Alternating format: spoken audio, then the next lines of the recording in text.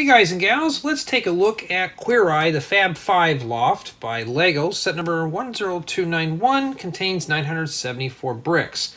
And I managed to find this set. A friend of mine, Dragon, had mentioned that this set was on clearance, and I decided to pick up a copy. Uh, mainly Lego's retiring it because I guess nobody was buying it. so I grabbed it for the parts and stuff. So here we have some minifigures. We have Tan, Jonathan, Bobby, Karamo, and Antoni.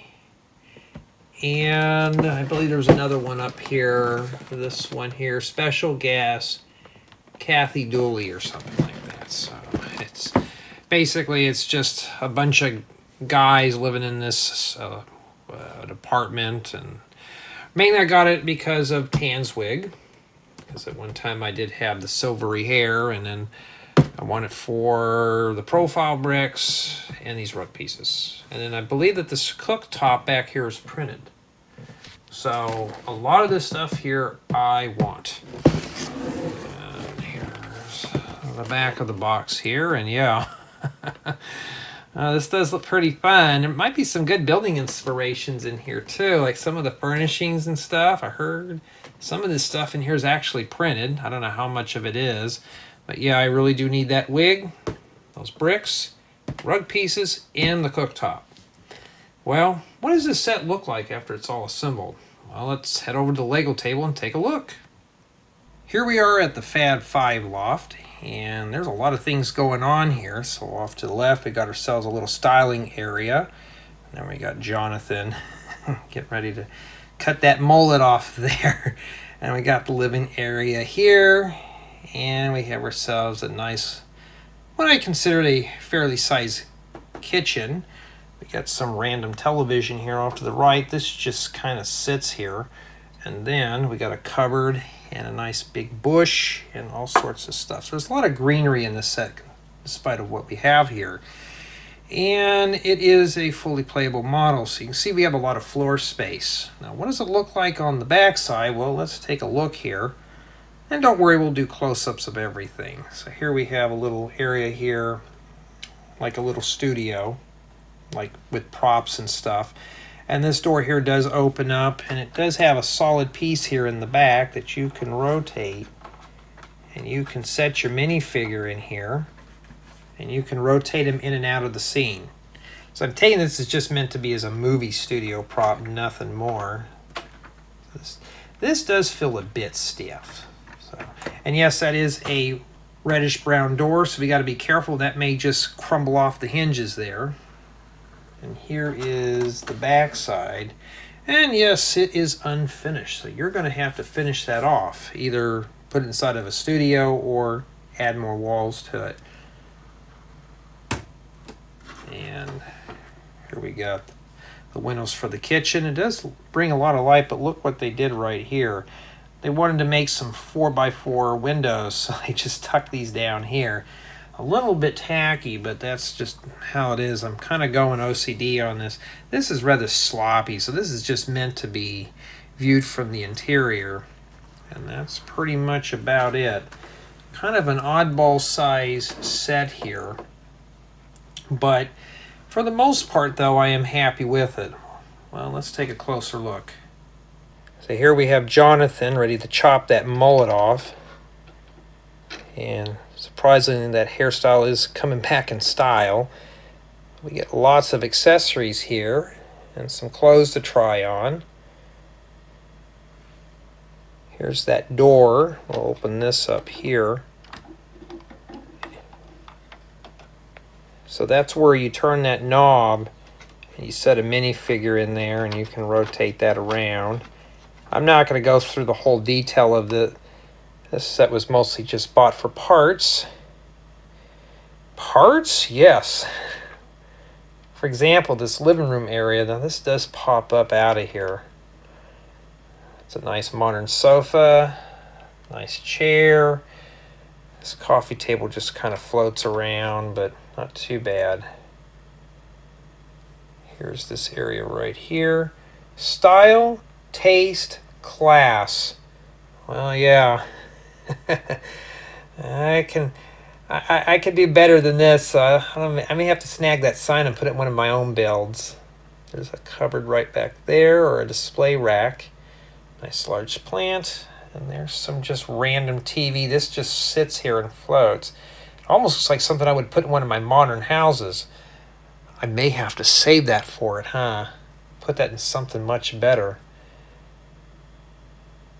And there's Tan. I'm sorry, Tan, but I'm going to have to scalp you when I'm done with this because I need that wig. And there's the kitchen. And the kitchen is actually full. So indeed, we do have a refrigerator right here. It's like a coffee maker of some sort. We have a laptop that's in the sink. That's a nice big sink. Oh, somebody dropped their laptop. And look at those stove pieces. Those are printed. That's another piece that I wanted out of this set too. And for the most part, the kitchen is really nice. As you can see though, it's pretty tight back there. Only two studs of space. I don't know why they didn't kick that counter you know, further up front here. You got the little stools and stuff, so it is a nice breakfast bar. Nice medium-sized windows, and I'm assuming that this right here is some kind of pipe. This is supposed to be some kind of modern, like a living in a warehouse type thing. And I believe over here we have some kind of blackboard or something like that. This is not even a door. And I think that this is some kind of piece of chalk or something like that. You can write on that. Now, a lot of this stuff has stickers I chose not to put on. Why? Because I'm going to part this baby out when I'm done with this, because I need the pieces. For the most part, though, it is a very interesting build. As you can see, there's a lot of floor space, so you can actually play inside this model. What are my thoughts on this set? Well, we'll save that for the review. Now for my review and opinions on the Fab 5 Loft build experience. Well, if you watch the complete build, I was pretty much happy with this build. It wasn't too boring, it wasn't dry, it was fun. I learned a lot of new building techniques and some of the furnishings and stuff could come in handy. So everything's pretty much well isolated like the kitchen. You could just pop that out and put it in your own build as well as the island and the living space.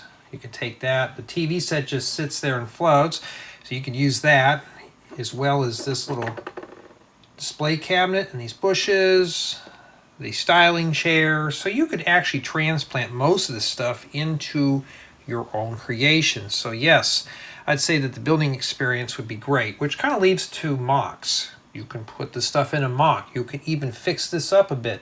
We already saw how exposed most of the backside is. It's just meant to be as a movie set. So it's not meant to be a complete house or an apartment or anything like that. But other than that, though, it's not too bad if you wanted to make this more fancy or complete, make it into a full mock. The build quality is pretty good. I hadn't had really anything fall off, but the only thing I'm kind of disappointed is this TV should just be put somewhere else. I don't know why it's even included with this. Don't see the need for it, considering we have all this extra stuff. Now, when I was building this, I didn't have really anything fall apart. Nothing was really kind of flimsy or flaky. Now, this middle piece does come out. So I don't know if this is meant for play or whatever, and the dog obviously had to go run off and do something else. But if you're picking this up, this may come flying out. This table here just sits in here and stuff like that. But for the most part, though, kitchen's pretty sound. Uh, the accessories are all fixed to the counters and stuff, so it's pretty much what it is, pretty sturdy. For playability, you know, even though if this is a set that's rated for 18 years of age and up, I still don't understand why. Pretty much anybody at any age could play with this. You can put your own minifigures in here. You could change some of the decor up and have your friends' figures in there too. it's you could do a lot with just this setup alone. So, you know, it's fully playable. And yeah, I had a lot of fun putting this together. And it did keep my interest. It wasn't like I was getting tired of it or anything like that. Now, to drop this in a Lego City, you would need to do a whole lot of work. You can either build a whole studio that goes around this to make it feel more authentic, or if you really want to make this into some kind of an apartment, you're going to have to fix up not only the remaining walls for the interior, but the exterior will need a complete overhaul, such as this right here and stuff like that. If I can open that up, remember all that in here with the turntable you have to turn around. But other than that, though, I'm not too dissatisfied with this set. Matter of fact, it was very pleasing. So the main reason why I purchased this set was the profile bricks, Tan's wig, and a few of the other accessories like the rug pieces and little pug and all that stuff. So there's just so much here that I could use. This has got a very high part out value for me because I could use these parts for making other mocks and tutorials. Mainly mocks. I just wanted the profile bricks. So there's a lot of good parts in this set. So tell me what you think. Is this something you'd probably want to get for parts? For me, it's a nice parts set at that.